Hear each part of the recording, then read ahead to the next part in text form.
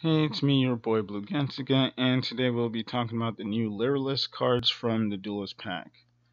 I recently went over um, Sherry LeBlanc's cards, and now we're going over the new cards for Ruri, which I'm actually glad, but also a little bit disappointed about. Not because these cards are bad, but because I was about to do a archetypal facelift for this deck until until I saw, you know, that um, Lyriluscs were getting cards, so I kind of had to scrap that.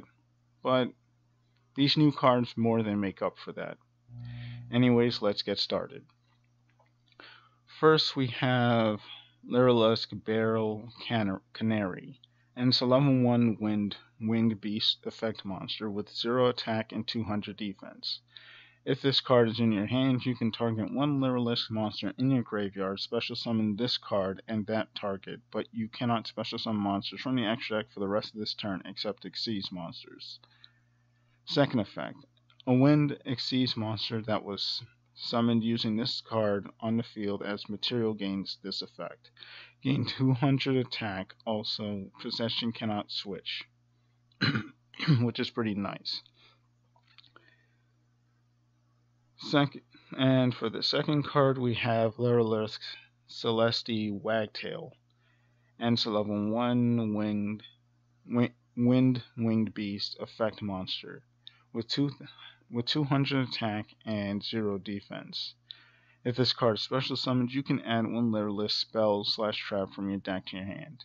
Also, notice how it looks like the one that searches monsters, but just in gray.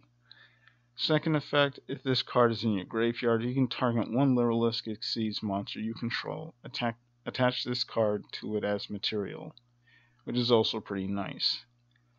It's not a it's not a once per duel effect, and you can essentially use it each turn, which is pretty nice.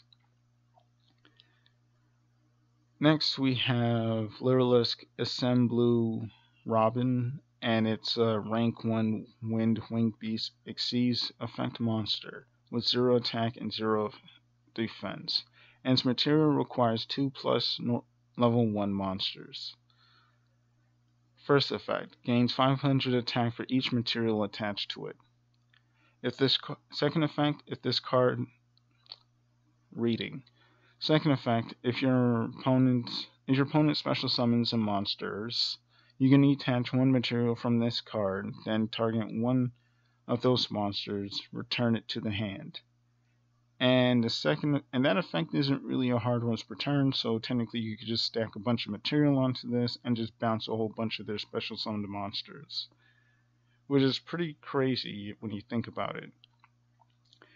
Third effect, if this card in your possession is sent to the graveyard by your by an opponent's card, you can target one of the Lyrilusc monster in your graveyard added to your hand, which is pretty nice. The second effect more than already makes this card really good, but the first and third effects are a nice bonus.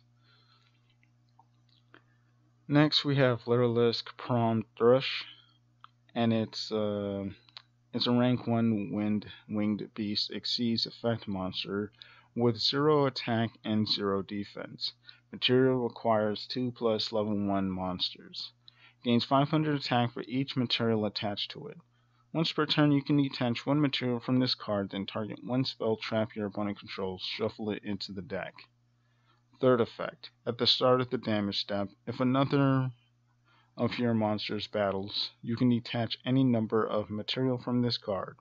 Your battling monster gains 300 attack for each material detached until the end of this turn which is pretty nice.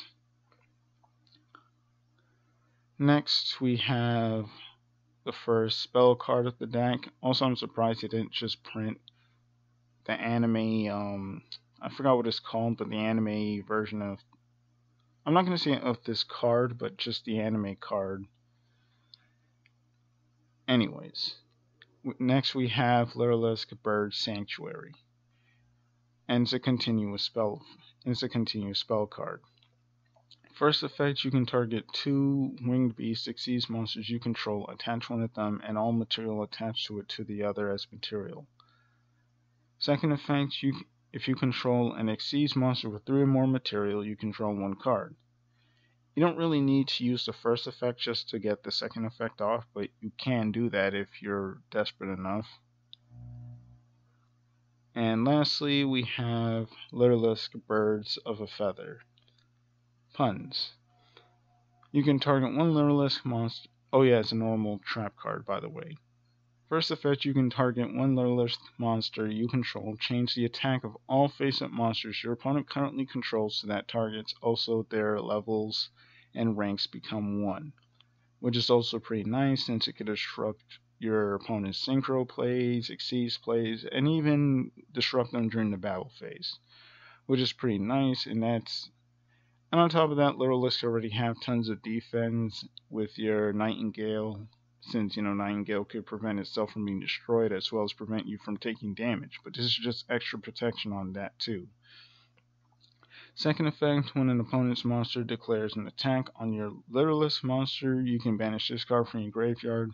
Your battling, your battling monster's attack becomes the same as your opponent's monsters un until the end of this turn. Over by then.